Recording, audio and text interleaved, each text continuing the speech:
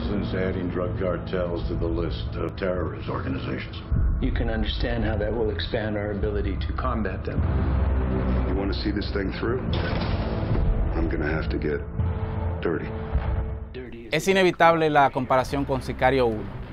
Mientras la primera se desarrolla en el ambiente del cine de autor, esta segunda parte va más orientada a la taquilla, utilizando elementos que facilitan el desarrollo de la historia y aseguran el entretenimiento para la gran audiencia.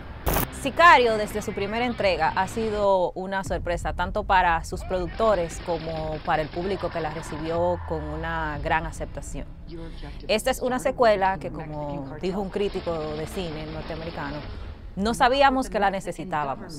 Así que esta película resalta en un verano lleno de superhéroes y de monstruos jurásicos, con una historia que trata sobre un tema bastante delicado como es el narcotráfico, como es la trata de personas, como es en cierta medida el problema de la inmigración y la frontera con México y Estados Unidos.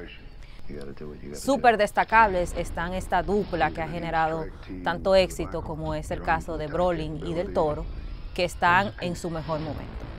Tiene todos los elementos para satisfacer a la gran mayoría de consumidores del cine de acción.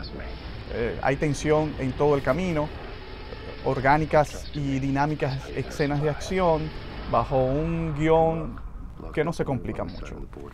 Eh, puedo decir que es buena la película, siempre y cuando a usted no le preocupe seguir viendo a Hollywood explotando los estereotipos, el latino narcotraficante, el latino que es sicario, el árabe que es terrorista y el policía o soldado bueno que ha nacido en Norteamérica y tiene una misión de luchar contra el mal y que si tiene que romper algunas reglas, pues no importa porque el fin justifica los medios.